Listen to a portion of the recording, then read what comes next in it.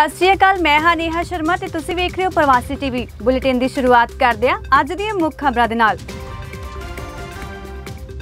ਭਲਕੇ 7 ਸਤੰਬਰ ਨੂੰ ਕਰਨਾਲ 'ਚ ਹੋਵੇਗੀ ਕਿਸਾਨ ਮਹਾਪੰਚਾਇਤ। ਭੁਪਿੰਦਰ ਹੁੱਡਾ ਨੇ ਕਿਸਾਨਾਂ ਦੀਆਂ ਮੰਗਾਂ ਨੂੰ ਦੱਸਿਆ ਪੂਰੀ ਤਰ੍ਹਾਂ ਜਾਇਜ਼। ਪੰਜਾਬ ਭਰ ਵਿੱਚ ਪਨਬਸ ਅਤੇ ਪੀਆਰਟੀਸੀ ਦੇ ਕੱਚੇ ਕਾਮਿਆਂ ਦੀ ਹੜਤਾਲ। ਸੁਮੇਰ ਸੈਣੀ ਨੂੰ ਹਾਈ ਕੋਰਟ ਨੇ ਜਾਰੀ ਕੀਤਾ ਨੋਟਿਸ। ਹੁਣ ਖਬਰਾਂ ਵਿਸਥਾਰ ਦੇ ਨਾਲ। ਕੇਂਦਰ ਦੀ ਨਰਿੰਦਰ ਮੋਦੀ ਸਰਕਾਰ ਵੱਲੋਂ ਲਿਆਂਦੇ ਗਏ ਵਿਵਾਦਤ ਖੇਤੀ ਕਾਨੂੰਨਾਂ ਦਾ ਕਿਸਾਨਾਂ ਵੱਲੋਂ ਲਗਾਤਾਰ ਵਿਰੋਧ ਕੀਤਾ ਜਾ ਰਿਹਾ ਹੈ। ਇਸੇ ਤਹਿਤ ਸੰਯੁਕਤ ਕਿਸਾਨ ਮੋਰਚੇ ਵੱਲੋਂ ਕਿਸਾਨ ਆਗੂ ਰਾਕੇਸ਼ ਟਕੈਤ ਦੀ ਅਗਵਾਈ ਵਿੱਚ ਲੰਘੇ ਕੱਲ ਯੂਪੀ ਦੇ ਮੁਜ਼ੱਫਰਨਗਰ ਵਿੱਚ ਕਿਸਾਨ ਮਹਾਪੰਚਾਇਤ ਕਰਵਾਈ ਗਈ। ਮੁਜ਼ੱਫਰਨਗਰ ਦੀ ਕਿਸਾਨ ਮਹਾਪੰਚਾਇਤ ਦੀ ਸਫਲਤਾ ਤੋਂ ਬਾਅਦ ਹੁਣ ਭਲਕੇ 7 ਸਤੰਬਰ ਨੂੰ ਕਰਨਾਲ ਵਿੱਚ ਕਿਸਾਨ ਮਹਾਪੰਚਾਇਤ ਹੋ ਰਹੀ ਹੈ। ਮੁਜ਼ੱਫਰਨਗਰ ਦੀ ਮਹਾਪੰਚਾਇਤ ਵਿੱਚ ਦੇਸ਼ ਦੇ ਵੱਖ-ਵੱਖ ਸੂਬਿਆਂ ਵਿੱਚੋਂ ਵੱਡੀ ਗਿਣਤੀ ਵਿੱਚ ਕਿਸਾਨ ਪਹੁੰਚੇ ਅਤੇ ਕਿਸਾਨਾਂ ਦੀ ਇੰਨੀ ਵੱਡੀ ਗਿਣਤੀ ਦੇਖ ਕੇ ਭਾਜਪਾ ਨੂੰ ਵੀ ਹੱਥਾਂ ਪੈਰਾਂ ਦੀ ਪੈ ਗਈ। ਇਸ ਮੌਕੇ ਰਾਕੇਸ਼ ਟਕੈਤ ਨੇ ਕਿਹਾ ਕਿ ਮੋਦੀ ਸਰਕਾਰ ਨੇ ਪੂਰੇ ਦੇਸ਼ ਨੂੰ ਵੇਚ ਦਿੱਤਾ ਹੈ। ਟਕੈਤ ਹੋਰਾਂ ਕਿਹਾ ਕਿ ਅਸੀਂ ਕਿਸਾਨਾਂ ਦੇ ਹੱਕ ਵਿੱਚ ਲੜਾਈ ਲੜਦੇ ਰਹਾਂਗੇ।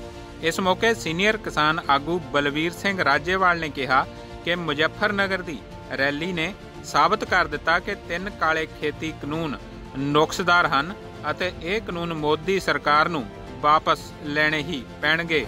ਕਿਸਾਨ ਮਹਾਪੰਚਾਇਤ ਦੌਰਾਨ 27 ਸਤੰਬਰ ਨੂੰ ਭਾਰਤ ਬੰਦ ਦਾ ਐਲਾਨ ਵੀ ਕੀਤਾ ਗਿਆ। Bureau report, Pravasi TV.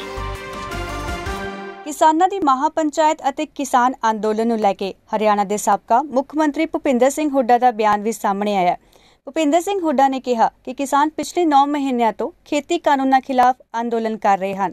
Hooda ਨੇ ਕਿਹਾ ਕਿ ਕਾਂਗਰਸ ਕਿਸਾਨਾਂ ਦੀਆਂ ਮੰਗਾਂ ਦਾ ਸਮਰਥਨ ਕਰਦੀ ਹੈ ਅਤੇ ਕਿਸਾਨਾਂ ਦੀਆਂ ਮੰਗਾਂ ਪੂਰੀ ਤਰ੍ਹਾਂ ਜਾਇਜ਼ ਹਨ। ਉਹਨਾਂ ਕਿਹਾ ਕਿ ਕੇਂਦਰ ਸਰਕਾਰ ਨੂੰ ਕਿਸਾਨਾਂ ਨਾਲ ਗੱਲਬਾਤ ਕਰਨੀ ਚਾਹੀਦੀ ਹੈ ਅਤੇ ਗੱਲਬਾਤ ਰਾਹੀਂ ਮਸਲੇ ਦਾ ਹੱਲ ਕੱਢਿਆ ਜਾਣਾ ਚਾਹੀਦਾ ਹੈ।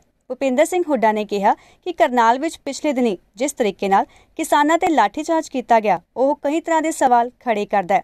ਮਹਾਪੰਚਾਇਤ ਵਿੱਚ ਕਿਸਾਨਾਂ ਵੱਲੋਂ ਭਾਜਪਾ ਨੂੰ ਹਰਾਉਣ ਦੀ ਗੱਲ ਤੇ ਹੁੱਡਾ ਨੇ ਕਿਹਾ ਕਿ ਇਸ ਦਾ ਜਵਾਬ ਤਾਂ ਕਿਸਾਨ ਹੀ ਦੇਣਗੇ। ਹੁੱਡਾ ਨੇ ਹਰਿਆਣਾ ਦੀ ਖੱਟਰ ਸਰਕਾਰ ਤੇ ਸਵਾਲ ਚੁੱਕਦਿਆਂ ਕਿਹਾ ਕਿ ਹਰਿਆਣਾ ਵਿੱਚ ਬੇਰੋਜ਼ਗਾਰੀ ਦਿਨੋ-ਦਿਨ ਵੱਧਦੀ ਜਾ ਰਹੀ ਹੈ। ਅੱਜ ਪੰਜਾਬ ਭਰ ਵਿੱਚ ਪਨਵਸ ਅਤੇ ਪੀਆਰਟੀਸੀ ਦੇ ਕੱਚੇ ਕਾਮਿਆਂ ਵੱਲੋਂ ਅਣਮਿੱਥੇ ਸਮੇਂ ਲਈ ਹੜਤਾਲ ਕੀਤੀ ਗਈ। ਜਿਸ ਕਾਰਨ ਪੂਰਾ ਦਿਨ ਲੋਕਾਂ ਨੂੰ ਖੱਜਲ ਖੁਆਰ ਹੋਣਾ ਪਿਆ।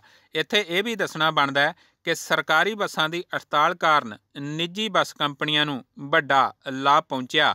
ਬੇਸ਼ੱਕ ਇਸ ਹੜਤਾਲ ਨਾਲ ਨਜਿੱਠਣ ਲਈ ਪਨਬਸ ਅਤੇ ਪੀਆਰਟੀਸੀ ਦੇ ਪ੍ਰਬੰਧਕਾਂ ਵੱਲੋਂ ਆਪਣੇ ਪੱਕੇ ਮੁਲਾਜ਼ਮਾਂ ਰਾਹੀਂ ਕੁਝ ਰੂਟਾਂ ਉੱਪਰ ਬੱਸ ਸੇਵਾ ਨੂੰ ਜਾਰੀ ਰੱਖਣ ਦਾ ਉਪਰਾਲਾ ਕੀਤਾ ਗਿਆ, ਪਰ ਜ਼ਿਆਦਾਤਰ ਬੱਸਾਂ ਦੇ ਨਾ ਚੱਲਣ ਕਾਰਨ ਲੋਕਾਂ ਨੂੰ ਵੱਡੀ ਮੁਸ਼ਕਲ ਦਾ ਸਾਹਮਣਾ ਕਰਨਾ ਪਿਆ। ਧਿਆਨ ਰਹੇ ਕਿ ਪੰਜਾਬ ਸਰਕਾਰ ਵੱਲੋਂ ਟਰਾਂਸਪੋਰਟ ਵਿਭਾਗ ਦੇ ਕੱਚੇ ਮੁਲਾਜ਼ਮਾਂ ਦੀਆਂ ਮੰਗਾਂ ਦਾ ਪਿਛਲੇ ਲੰਮੇ ਸਮੇਂ ਤੋਂ ਹੱਲ ਨਹੀਂ ਕੀਤਾ ਜਾ ਰਿਹਾ। ਇਸ ਸੰਬੰਧੀ ਕੱਚੇ ਕਾਮੇ ਸਮੇਂ-ਸਮੇਂ ਉੱਤੇ ਧਰਨੇ ਪ੍ਰਦਰਸ਼ਨ ਕਰਦੇ ਆ ਰਹੇ ਨੇ।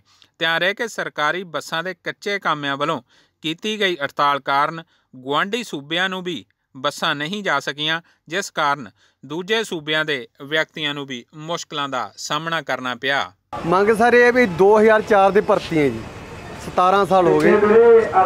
ਪਹਿਲਾਂ ਆਊਟਸੋਰਸਿੰਗ ਤੇ ਉਸ ਤੋਂ ਬਾਅਦ 2016 ਚ ਹੀ ਕੰਟਰੈਕਟ ਤੇ ਮਹਿਕਮੇ ਦੇ ਅੰਡਰ ਕੀਤਾ ਗਿਆ ਜੀ। ਕਿ ਸਾਡੀ ਤਨਖਾਹ ਉਹੀ ਹੈ ਜੋ ਆਊਟਸੋਰਸਿੰਗ ਦੀ ਪਹਿਲਾਂ ਸੀ। ਸਰ ਸਾਡਾ ਪਿਛਲੇ ਲੰਬੇ ਸਮੇਂ ਤੋਂ ਮੰਗਾਂ ਨੇ ਜੋ ਸਰਕਾਰ ਨੇ ਵਾਅਦੇ ਕੀਤੇ ਸੀਗੇ ਵੀ ਕੱਚੇ ਮੁਲਾਜ਼ਮਾਂ ਨੂੰ ਪੱਕਾ ਕੀਤਾ ਜਾਊਗਾ ਉਹ ਹਾਲੇ ਤੱਕ ਨਹੀਂ ਕੀਤਾ ਗਿਆ। ਉਹਦੇ ਰੋਸ ਵਜੋਂ ਸਾਨੂੰ ਅੱਜ ਗੇਟ ਬੰਦ ਕਰਨੇ ਪੈ ਰਹੇ ਨੇ। ਸਾਡੇ ਜਿਹੜੀਆਂ ਮੁੱਖ ਮੰਗਾਂ ਨੇ ਜਿਹੜੇ ਲੰਬੇ ਸਮੇਂ ਤੋਂ ਸਾਡੇ ਪੀਆਰਟੀਸੀ ਡਿਪਾਰਟਮੈਂਟ ਦੇ ਵਿੱਚ ਮੁਲਾਜ਼ਮ ਕੱਚੇ ਕੰਮ ਕਰ ਰਹੇ ਨੇ, ਉਹਨਾਂ ਨੂੰ ਪੱਕਾ ਕੀਤਾ ਜਾਵੇ। ਮਾਨਯੋਗ ਸੁਪਰੀਮ ਕੋਰਟ ਦਾ ਫੈਸਲਾ ਬਰਾਬਰ ਕੰਮ ਬਰਾਬਰ ਤਨਖਾਹ ਲਾਗੂ ਕੀਤਾ ਜਾਵੇ। ਪੰਜਾਬ ਦੀ ਜਨਤਾ ਦੀ ਆਬਾਦੀ ਦੇ ਹਿਸਾਬ ਨਾਲ ਜੋ ਸਰਕਾਰੀ ਬੱਸਾਂ ਦੀ ਗਿਣਤੀ ਘੱਟੋ ਘੱਟ ਅੱਜ 10000 ਹੋਣੀ ਚਾਹੀਦੀ ਹੈ, ਉਹ 10000 ਬੱਸਾਂ ਦੀ ਗਿਣਤੀ ਕੀਤੀ ਜਾਵੇ। ਬਿਊਰੋ ਰਿਪੋਰਟ ਪ੍ਰਵਾਸੀ ਟੀਵੀ। 400 ਸਾਲਾ ਬੰਦੀ ਛੋੜ ਦਿਵਸ ਨੂੰ ਸਮਰਪਿਤ ਅੱਜ ਸ੍ਰੀ ਅਕਾਲ ਤਖਤ ਸਾਹਿਬ ਤੋਂ ਗਵਾਲੀਅਰ ਤੱਕ 28 ਦਿਨਾਂ ਪੈਦਲ ਸ਼ਬਦ ਚੌਂਕੀ ਯਾਤਰਾ ਆਰੰਭ ਹੋਈ। ਇਸ ਯਾਤਰਾ ਦੀ ਆਰੰਭਤਾ ਮੌਕੇ ਸ੍ਰੀ ਅਕਾਲ ਤਖਤ ਸਾਹਿਬ ਦੇ ਜਥੇਦਾਰ ਗਿਆਨੀ ਹਰਪ੍ਰੀਤ ਸਿੰਘ, ਸ੍ਰੀ ਦਰਬਾਰ ਸਾਹਿਬ ਦੇ ਮੁੱਖ ਗ੍ਰੰਥੀ ਗਿਆਨੀ ਜਗਤਾਰ ਸਿੰਘ ਤੇ ਕਾਰ ਸੇਵਾ ਖਡੂਰ ਸਾਹਿਬ ਵਾਲੇ ਬਾਬਾ ਸੇਵਾ ਸਿੰਘ ਸਮੇਤ ਹੋਰ ਸ਼ਖਸੀਅਤਾਂ ਹਾਜ਼ਰ ਸਨ। ਇਸ ਮੌਕੇ ਬਾਬਾ ਸੇਵਾ ਸਿੰਘ ਖਡੂਰ ਸਾਹਿਬ ਵਾਲਿਆਂ ਨੇ ਦੱਸਿਆ ਕਿ ਇਹ ਪੈਦਲ ਸ਼ਬਦ ਚੌਂਕੀ ਯਾਤਰਾ 3 ਅਕਤੂਬਰ ਨੂੰ ਗਵਾਲੀਅਰ ਵਿਖੇ ਪੁੱਜ ਕੇ ਸੰਪੂਰਨ ਹੋਏਗੀ ਅਤੇ ਰਸਤੇ ਵਿੱਚ ਉਸ ਦੇ ਵੱਖ-ਵੱਖ ਥਾਵਾਂ ਉੱਤੇ 26 ਪੜਾਅ ਹੋਣਗੇ। ਤਿਆਰ ਹੈ ਕਿ ਲੰਗੇ ਕੱਲ ਐਸਜੀਪੀਸੀ ਪ੍ਰਧਾਨ ਬੀਬੀ ਜਗੀਰ ਕੌਰ ਨੇ ਗੁਜਰਾਤ ਦੇ ਜ਼ਿਲ੍ਹਾ ਕੱਛ ਵਿੱਚ ਸਥਿਤ ਪਹਿਲੀ ਪਾਤਸ਼ਾਹੀ ਸ੍ਰੀ ਗੁਰੂ ਨਾਨਕ ਦੇਵ ਜੀ ਦੀ ਚਰਨ ਛੋਹ ਪ੍ਰਾਪਤ ਇਤਿਹਾਸਕ ਗੁਰਦੁਆਰਾ ਲਖਪਤ ਰਾਏ ਦੀ ਨਵੀਂ ਇਮਾਰਤ ਦੀ ਉਸਾਰੀ ਲਈ ਸ਼੍ਰੋਮਣੀ ਕਮੇਟੀ ਵੱਲੋਂ 21 ਲੱਖ ਰੁਪਏ ਦੀ ਮਦਦ ਦੇਣ ਦਾ ਐਲਾਨ ਵੀ ਕੀਤਾ ਸੀ। Bureau report, Pravasi TV. Shiromani Akali Dal ਦੇ ਸੀਨੀਅਰ ਆਗੂ ਤੇ ਸਾਬਕਾ ਕੈਬਨਿਟ ਮੰਤਰੀ ਵਿਕਰਮ ਸਿੰਘ ਮਜੀਠੀਆ ਨੇ ਅੱਜ ਅੰਮ੍ਰਿਤਸਰ ਵਿੱਚ ਪ੍ਰੈਸ ਕਾਨਫਰੰਸ ਕੀਤੀ। ਇਸ ਮੌਕੇ ਮਜੀਠੀਆ ਨੇ ਮੁੱਖ ਮੰਤਰੀ ਕੋਲਾ ਬਟਾਲਾ ਨੂੰ ਜ਼ਿਲ੍ਹਾ ਬਣਾਉਣ ਦੀ ਮੰਗ ਕਰ ਰਹੇ ਪੰਜਾਬ ਸਰਕਾਰ ਦੇ ਚਾਰ ਵਜ਼ੀਰਾਂ ਤੇ ਟਿੱਪਣੀ ਕਰਦਿਆਂ ਕਿਹਾ ਕਿ ਉਹਨਾਂ ਨੂੰ ਅਹੁਦੇ ਦੀ ਭੁੱਖ ਤੇ ਢੀਠਪੁਣਾ ਛੱਡ ਕੇ ਅਸਤੀਫਾ ਦੇ ਦੇਣਾ ਚਾਹੀਦਾ ਹੈ। ਮਜੀਠੀਆ ਨੇ ਕਿਹਾ ਕਿ ਪੰਜਾਬ ਦੇ ਚਾਰ ਵਜ਼ੀਰ ਇੱਕ ਪਾਸੇ ਕੈਪਟਨ ਅਮਰਿੰਦਰ ਨੂੰ ਮੁੱਖ ਮੰਤਰੀ ਹੀ ਨਹੀਂ ਮੰਨਦੇ, ਪਰ ਦੂਜੇ ਪਾਸੇ ਉਸੇ ਮੁੱਖ ਮੰਤਰੀ ਨੂੰ ਚਿੱਠੀਆਂ ਲਿਖ ਰਹੇ ਹਨ। ਉਹਨਾਂ ਕਿਹਾ ਕਿ ਸ਼੍ਰੋਮਣੀ ਅਕਾਲੀ ਦਲ ਬਸਪਾ ਗੱਠਜੋੜ ਦੀ ਸਰਕਾਰ ਬਣਨ ਤੇ ਬਟਾਲਾ ਨੂੰ ਜ਼ਿਲ੍ਹਾ ਬਣਾਇਆ ਜਾਵੇਗਾ। ਕਾਂਗਰਸ ਦੀ ਮੌਜੂਦਾ ਲੜਾਈ ਤੇ ਟਿੱਪਣੀ ਕਰਦਿਆਂ ਮਜੀਠੀਆ ਨੇ ਕਿਹਾ ਕਿ ਕਾਂਗਰਸੀਆਂ ਦੇ ਧੜਿਆਂ 'ਚ ਹੋ ਰਹੀ ਲੜਾਈ ਪੰਜਾਬ ਦੇ ਲੋਕਾਂ ਜਾਂ ਕਿਸਾਨਾਂ ਦੀ ਭਲਾਈ ਲਈ ਨਹੀਂ, ਬਲਕਿ ਇਹ ਤਾਂ ਕੁਰਸੀ ਲਈ ਲੜ ਰਹੇ ਹਨ। ਪ੍ਰੈਸ ਵਾਰਤਾ ਦੌਰਾਨ ਮਜੀਠੀਆ ਦਾ ਕਹਿਣਾ ਸੀ ਕਿ ਕਿਸਾਨਾਂ ਦੀ ਆੜ ਵਿੱਚ ਸ਼ਰਾਰਤੀ ਅੰਸਰ ਮਾਹੌਲ ਵਿਗਾੜ ਰਹੇ ਹਨ। ਕਿਸਾਨੀ ਅੰਦੋਲਨ ਨੂੰ ਲੈ ਕੇ ਉਹਨਾਂ ਦਾ ਕਹਿਣਾ ਸੀ ਕਿ ਸਾਰੀਆਂ ਸਿਆਸੀ ਪਾਰਟੀਆਂ ਨੂੰ ਇਕਜੁੱਟ ਹੋਣ ਦੀ ਲੋੜ ਹੈ। ਪੰਜਾਬ ਅਤੇ ਹਰਿਆਣਾ ਹਾਈ ਕੋਰਟ ਨੇ ਪੰਜਾਬ ਵਿਜੀਲੈਂਸ ਕਮਿਸ਼ਨ ਦੀ ਇੱਕ ਪਟੀਸ਼ਨ ਤੇ ਸੁਣਵਾਈ ਕਰਦੇ ਹੋਏ ਪੰਜਾਬ ਦੇ ਸਾਬਕਾ ਡੀਜੀਪੀ ਸੁਮੇਧ ਸਿੰਘ ਸੈਣੀ ਨੂੰ ਨੋਟਿਸ ਜਾਰੀ ਕਰਕੇ ਜਵਾਬ ਤਲਬ ਕੀਤਾ ਹੈ। ਵਿਜੀਲੈਂਸ ਨੇ ਆਮਦਨ ਤੋਂ ਵੱਧ ਜਾਇਦਾਦ ਦੇ ਮਾਮਲੇ 'ਚ ਸੈਣੀ ਨੂੰ ਦਿੱਤੀ ਗਈ ਜ਼ਮਾਨਤ ਰੱਦ ਕਰਨ ਦੀ ਅਪੀਲ ਕੀਤੀ ਹੈ। ਜ਼ਿਕਰਯੋਗ ਹੈ ਕਿ ਵਿਜੀਲੈਂਸ ਬਿਊਰੋ ਨੇ ਸੁਮੇਧ ਸੈਣੀ ਨੂੰ ਉਸ ਵੇਲੇ ਗ੍ਰਿਫਤਾਰ ਵੀ ਕੀਤਾ ਸੀ, ਜਦੋਂ ਅਦਾਲਤ ਵੱਲੋਂ ਜਾਰੀ ਹੁਕਮਾਂ ਅਨੁਸਾਰ ਉਹ ਜਾਂਚ 'ਚ ਸ਼ਾਮਿਲ ਹੋਣ ਲਈ ਵਿਜੀਲੈਂਸ ਦੇ ਮੁੱਖ ਦਫ਼ਤਰ ਵਿਖੇ ਪਹੁੰਚੇ ਸਨ। ਇਸ ਤੋਂ ਬਾਅਦ ਸੈਣੀ ਨੂੰ ਹਾਈ ਕੋਰਟ ਨੇ ਜ਼ਮਾਨਤ ਤੇ ਰਿਹਾ ਕਰਨ ਦਾ ਹੁਕਮ ਜਾਰੀ ਕਰ ਦਿੱਤਾ ਸੀ। ਪੰਜਾਬ ਸਰਕਾਰ ਵੱਲੋਂ ਸੁਮੇਧ ਸੈਣੀ ਦੀ ਗ੍ਰਿਫਤਾਰੀ ਰੱਦ ਹੋਣ ਸੰਬੰਧੀ ਪਟੀਸ਼ਨ ਪਾਈ ਗਈ ਸੀ, ਜਿਸ ਤੇ ਹੁਣ ਸਾਬਕਾ ਡੀਜੀਪੀ ਨੂੰ 7 ਅਕਤੂਬਰ ਨੂੰ ਜਵਾਬ ਦਾਖਲ ਕਰਨ ਲਈ ਕਿਹਾ ਗਿਆ ਹੈ। ਧਿਆਨ ਰਹੇ ਕਿ ਸੁਮੇਧ ਸੈਣੀ ਆਮਦਨ ਤੋਂ ਵੱਧ ਜਾਇਦਾਦ ਦੇ ਮਾਮਲੇ ਵਿੱਚ ਘਿਰੇ ਹੋਣ ਤੋਂ ਇਲਾਵਾ ਹੋਰ ਵੀ ਕਈ ਵਿਵਾਦਿਤ ਮਾਮਲਿਆਂ ਵਿੱਚ ਘਿਰੇ ਹੋਏ ਹਨ। ਸ਼੍ਰੀ ਅਕਾਲ ਤਖਤ ਸਾਹਿਬ ਦੇ ਜਥੇਦਾਰ ਗਿਆਨੀ ਹਰਪ੍ਰੀਤ ਸਿੰਘ ਨੇ ਹਰਿਆਣਾ ਸਰਕਾਰ ਦੇ ਪਬਲਿਕ ਸਰਵਿਸ ਕਮਿਸ਼ਨ ਵੱਲੋਂ ਜਾਰੀ ਕੀਤੇ ਗਏ ਵਿਵਾਦਮਈ ਆਦੇਸ਼ ਨੂੰ ਸਿੱਖ ਧਰਮ ਖਿਲਾਫ ਦੱਸਿਆ। ਤਿਆਰ ਤਿਆਰੇ ਕਿ ਹਰਿਆਣਾ ਸਰਕਾਰ ਵੱਲੋਂ ਪਬਲਿਕ ਸਰਵਿਸ ਕਮਿਸ਼ਨ ਦੀਆਂ ਪ੍ਰੀਖਿਆਵਾਂ ਦੌਰਾਨ ਧਾਰਮਿਕ ਚਿੰਨ੍ਹ ਨਾ ਪਹਿਨਣ ਦੇ ਆਦੇਸ਼ ਜਾਰੀ ਕੀਤੇ ਗਏ ਨੇ। ਇਸ ਆਦੇਸ਼ ਉੱਤੇ ਗਿਆਨੀ ਹਰਪ੍ਰੀਤ ਸਿੰਘ ਨੇ ਇਤਰਾਜ਼ ਕੀਤਾ ਅਤੇ ਅਜਿਹਾ ਆਦੇਸ਼ ਤੁਰੰਤ ਵਾਪਸ ਲੈਣ ਦੀ ਅਪੀਲ ਵੀ ਕੀਤੀ ਹੈ। ਗਿਆਨੀ ਹਰਪ੍ਰੀਤ ਸਿੰਘ ਨੇ ਕਿਹਾ ਕਿ ਭਾਰਤ ਦਾ ਸੰਵਿਧਾਨ ਧਾਰਮਿਕ ਚਿੰਨ੍ਹ ਪਹਿਨਣ ਦੀ ਪੂਰੀ ਆਜ਼ਾਦੀ ਦਿੰਦਾ ਹੈ। ਉਹਨਾਂ ਕਿਹਾ ਕਿ ਇਹ ਆਦੇਸ਼ ਸਿੱਖ ਨੌਜਵਾਨਾਂ ਨੂੰ ਹਰਿਆਣਾ ਸਰਕਾਰ ਅਧੀਨ ਸਰਕਾਰੀ ਨੌਕਰੀਆਂ ਤੋਂ ਦੂਰ ਰੱਖਣ ਦੀ ਸਾਜ਼ਿਸ਼ ਹੈ। ਗਿਆਨੀ ਹਰਪ੍ਰੀਤ ਸਿੰਘ ਨੇ ਹਰਿਆਣਾ ਸਰਕਾਰ ਨੂੰ ਅਜਿਹੇ ਹੁਕਮ ਉਤੇ ਮੁੜ ਤੋਂ ਵਿਚਾਰ ਕਰਨ ਦੀ ਅਪੀਲ ਕੀਤੀ ਅਤੇ ਕਿਹਾ ਕਿ ਅਜਿਹੇ ਆਦੇਸ਼ ਨਾਲ ਸਿੱਖ ਭਾਈਚਾਰੇ ਦੀਆਂ ਭਾਵਨਾਵਾਂ ਨੂੰ ਠੇਸ ਪਹੁੰਚੀ ਹੈ। Bureau report, Pravasi TV.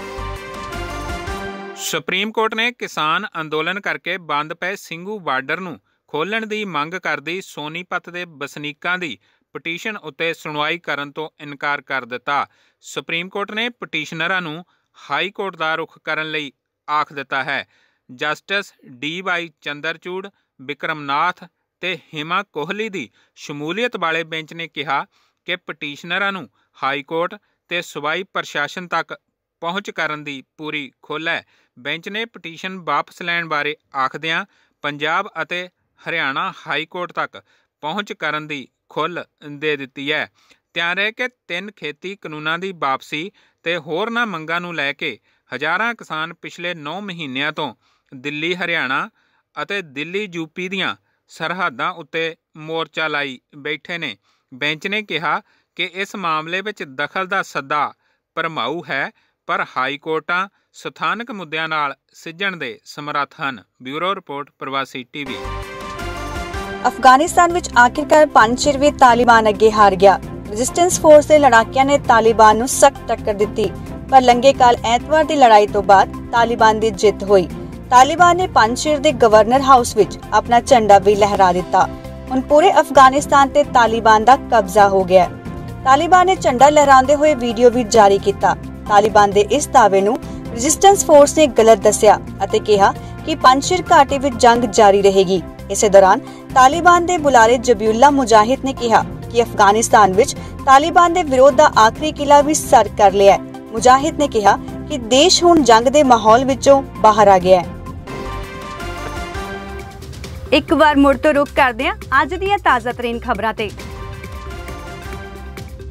ਭਲਕੇ 7 ਸਤੰਬਰ ਨੂੰ ਕਰਨਾਲ 'ਚ ਹੋਵੇਗੀ ਕਿਸਾਨ ਮਹਾਪੰਚਾਇਤ। ਭੁਪਿੰਦਰ ਹੁੱਡਾ ਨੇ ਕਿਸਾਨਾਂ ਦੀਆਂ ਮੰਗਾਂ ਨੂੰ ਦੱਸਿਆ ਪੂਰੀ ਤਰ੍ਹਾਂ ਜਾਇਜ਼। ਪੰਜਾਬ ਭਰ ਵਿੱਚ ਪਨਬਸ ਅਤੇ ਪੀਆਰਟੀਸੀ ਦੇ ਕੱਚੇ ਕਾਮਿਆਂ ਦੀ ਹੜਤਾਲ।